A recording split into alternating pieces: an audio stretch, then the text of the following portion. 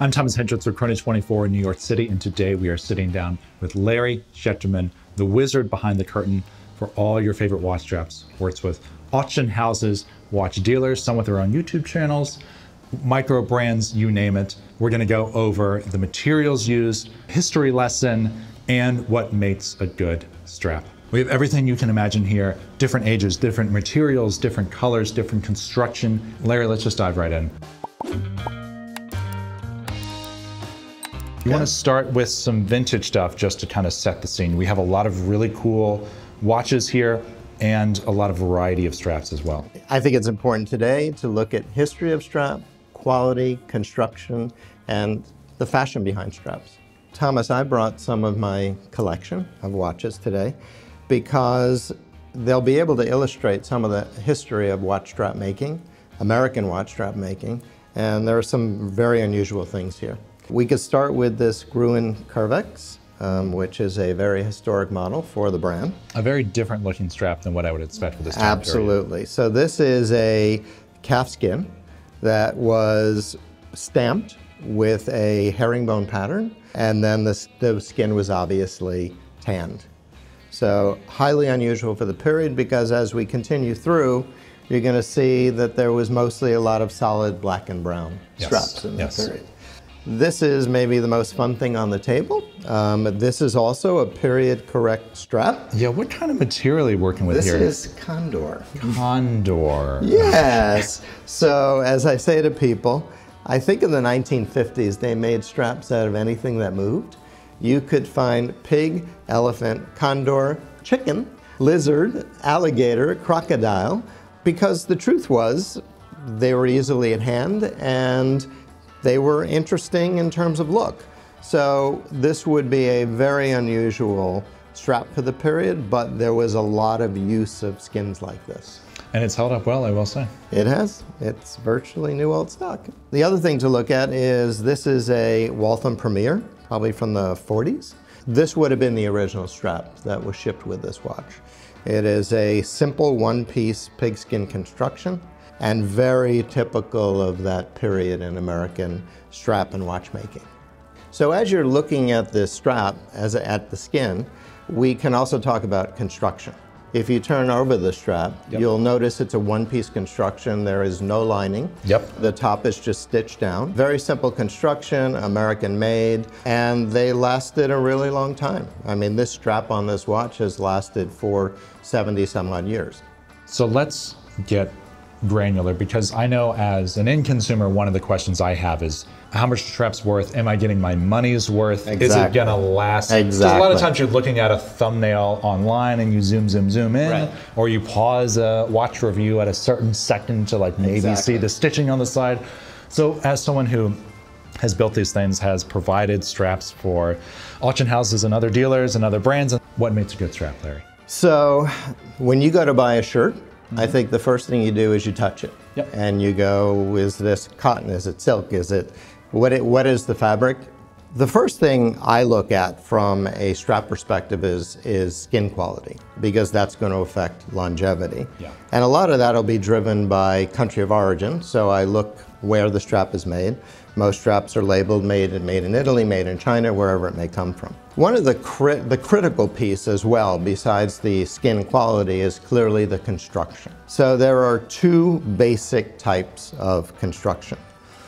Although this is a top-end strap, this is the lower priced construction when you go to make straps. Okay, and what we, is this called? Okay, we call this cut edge, mm -hmm. okay? And in a cut edge strap, all of the materials are basically brought to the edge, the strap is cut, and then it is stitched. And then, as a last process, the strap is edge painted. Sometimes people make straps where this edge paint portion is contrast. You may have fun and say, I want a black strap with red edge painting. That can be done, of course. Most of the time it matches the leather, or it comes close. A top-end construction would be Rembordé, okay? And the top brands, top clients use Rembordé heavily for high-priced straps, things like alligator, lizard, ostrich, things of that sort. And it's a hand process, mm -hmm. but what's done is the top leather is wrapped around the fill and the lining, and then there is a lining stitch to the back. Very often you can tell because you'll see this portion at the top the way it is. The wraparound right. part, yeah. You won't see that here. You can also make rembordé where it is actually brought to the top, the lining. Mm-hmm. But the key is to look at the side of the strap and notice that top leather rolled around the back. Yeah, I've seen the term rolled edge. Is that what that's Exactly, referring to? exactly. And the best place to look is near the lug.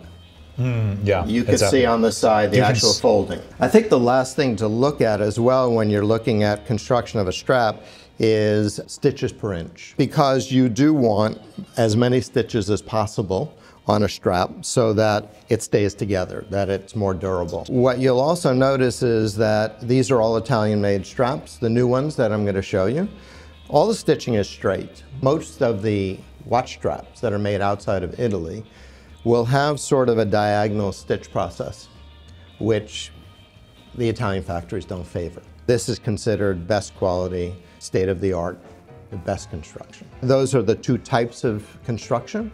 The other thing that is made are things like cordovan, like that green strap. If we look at that, this is a single piece construction. Yeah. So this is Horween cordovan from Chicago, but because the leather can be thick, you don't necessarily need a lining. And what a lot of accounts want is that Horween stamp, which appears on the back of the leather. Yeah, it's practically a household name by this point. absolutely. So this is the least construction cost that we've seen as far as like Exactly. manual labor, but All the money is in the skin. it yeah puts more focus on the materials themselves. One of the things I think that's sort of important to talk about is a regular strap versus quick release. One of the things we haven't talked about yet is really trend and what's happening in, in, in the strap world, and that is that straps have become a fashion item. Guys wardrobe their straps to their watches. The newest thing that I'm getting a request for, and it's not new, but it's from a trend perspective, is quick release. These cost a bit more than a standard strap because it's separate operations here, but it is spring loaded. You put one side in the, in the watch, in the lug, and then you just pull the bar down and the other end slips right into the hole. Yep, easy. You can do it in the morning when just like tying your Um, It, shoes. it takes two seconds and it's an easy thing. you see more brands doing this now as Yes. well. I think it just makes the product a little bit more Yep. marketable. Yep. And as much as I feel like stabbing yourself with a spring bar tool is part of the rite of Yes, passage have of joining wounds, this industry, I am glad to see. We use the word trend, but I think this is something that is just It's utilitarian. it's gonna it's it's here to stay and i do want to talk about sizing as well and i think one of the big questions that people have run into is they get a, a watch they fall in love with but it's 19 millimeters lug width what, do, Okay. what do you do This is a critical conversation because it will affect whether your watch is snugly affixed to your wrist or you may walk down the street and find your watch on the floor. Okay, it's that's important a conversation. An important thing to know is your lug width on a watch, and just so that we can point it out, that is the distance between these lugs on the watch. Smaller watches obviously tend to have smaller lug sizes, but this guy right it's yes, but it's not always the rule because this watch is from the 1920s and this is a 20 millimeter strap. exactly yeah. So you must know the size of your strap and you must fit that size to your watch. Talking about a 19 millimeter, that was a question I was asked by one of my first accounts. A strap that is too small will cause your strap to come off the watch, okay?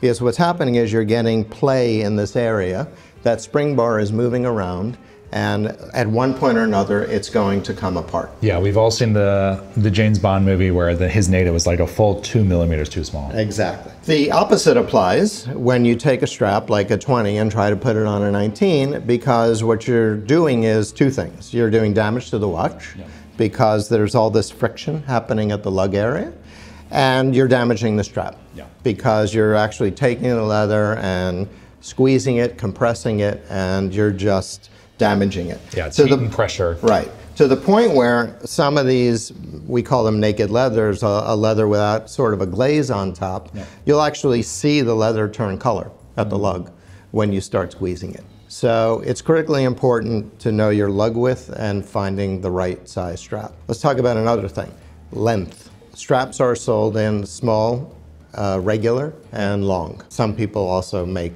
extra longs. That's important from a fit and comfort perspective. I happen to have a, quite a small wrist. I can be right in between a small to a reg. Don't you hate how that happens? Uh, yes. So I have to try on straps or, you know, at least understand.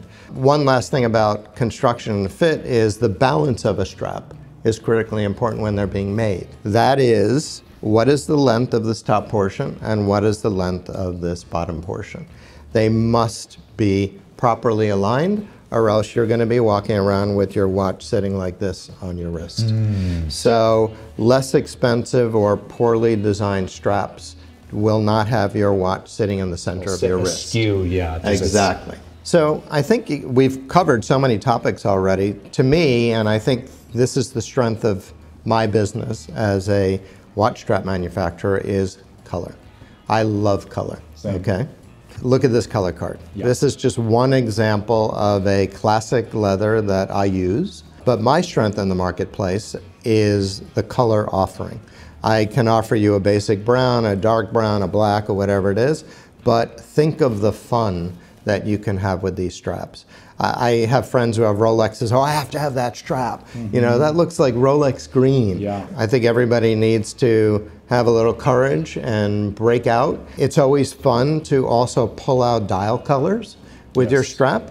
So if you have a chronograph with a red subdial, how fun would that be? Yeah. So I think you should take advantage as a consumer of color offerings, brands that offer color offerings, because I think today that's where the fun is. For historical context, we started off with really just kind of black and brown, brown, brown straps brown, black in the and 40s, 50s, and even the 60s, I would say. Yep. And then now you have the whole world in front of you, and with technologies like quick release, right. and say maybe today's a light purple day, but tomorrow I have a meeting. Let's go back to black. Totally, sure. Bring a couple with you in your pocket, switch them out. Absolutely, I, I, I'm as crazy as that, but yes, that is a possibility.